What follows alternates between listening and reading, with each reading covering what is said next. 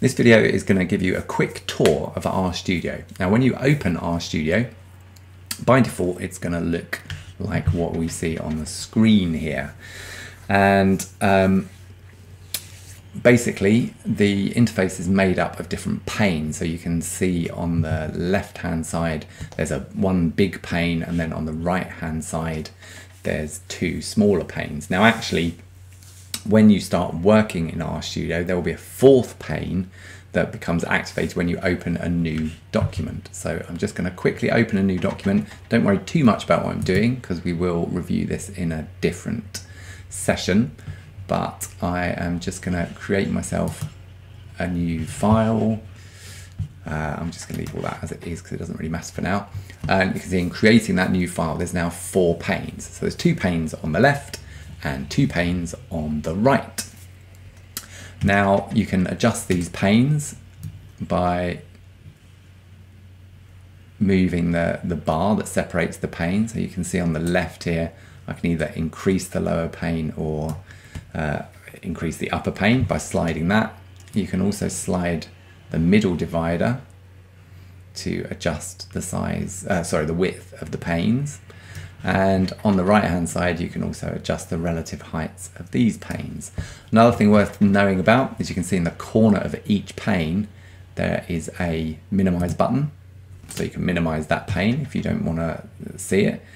And you can maximize it again by clicking that button.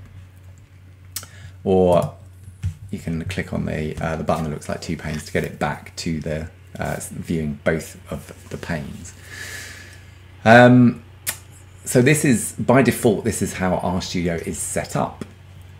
So on the left-hand side, uh, any document you create is in the top left pane. Then in the lower left pane, you'll get the R console. So this is uh, an area where you can type commands into R directly.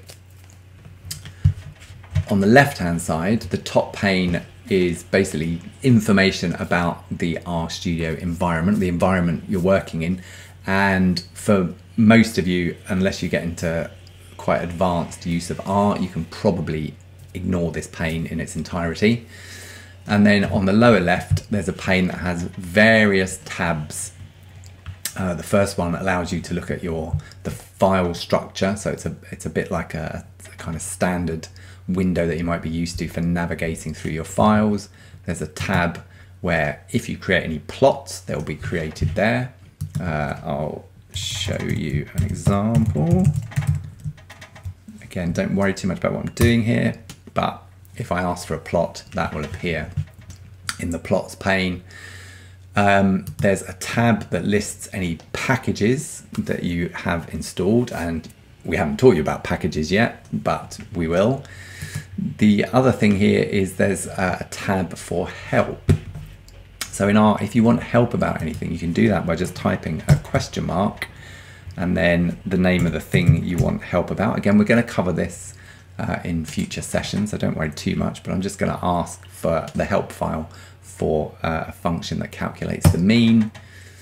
And you can see um, basically by executing that command, we get a help file over here about the mean. And just to show you, we can also get one about the median and so on and so forth. So if you want help, uh, it will appear in this tab.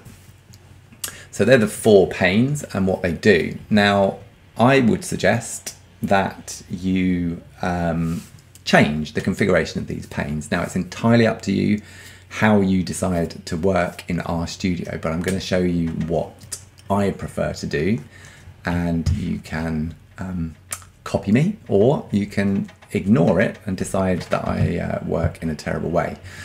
Now, there are various options that you can change.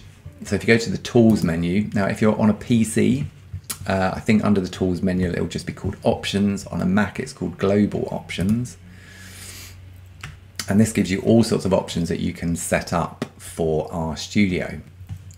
And the one, one of the ones I'm going to highlight now is the pane layout. So at the moment, this is how the four panes are laid out. So you've got source, which is um, any documents you're working on. Then underneath that, the console, so that's where you can directly type things uh, and execute them in R. Then on the top right, you've got environment, and the bottom right, you've got uh, those tabs for files and plots and, and help. Now, what I normally do is I switch the console and the environment. So up here where it says environment, click on the drop down box and I would normally change this to console. So that then switches those two panes and then I apply it. I'm just going to cancel that for a minute and go back. So now you can see we've got, on the left hand side we've now got a document we're working on and underneath it we've got this environment pane and as I said for most of you you won't need to use that environment pane so we can minimize it. So one of the consequences of doing this is we now have the document we're working on as a fairly big pane on the left hand side and then on the right hand side uh, we've got our console in case we want to type anything directly into R at the top and we've got this other pane for uh, looking at plots and uh, navigating our files and things like that. The other thing I tend to do is I tend to uh, have have the two panes on the right slightly narrower. So basically what I'm trying to do on the on the left hand side is maximize the document that I'm working on and I find that a good way to work. The other thing worth doing possibly is changing the color scheme of RStudio. So the default color scheme, which is what you can see right now, that's not actually what I typically use. And again, this is really a personal preference thing. But if you go to tools and again, options, or if you're on a Mac global options, you can see that there are some options for appearance down here. So the default theme is uh, a light background with um, kind of blue black text on. Um, and down here where it says editor theme, there are all different themes that you can apply and you can hopefully see them changing as I go through the list. Um, so you can have a play around with that, see what is kind of most comfortable on your eyes, because bearing in mind you're going to be reading uh, a lot of text, so it's good to have a color, uh, a theme that is kind of kind to your eyes. Personally, I use this one called Solarized Dark, and um, I, you know, I, I like that theme. And let's see what happens when we apply it. You can see that our RStudio console has gone dark and we now have light text against a dark background. Um, I find this much easier to work on. I, I use RStudio for long periods of the day, and um, this color scheme uh, is is kind of really good for not making my eyes ache. But having said that, you know, I'm ancient, whereas many of you are young and you might prefer the lighter color scheme. The other thing I like in particular about this color scheme is it matches the darkness of my soul.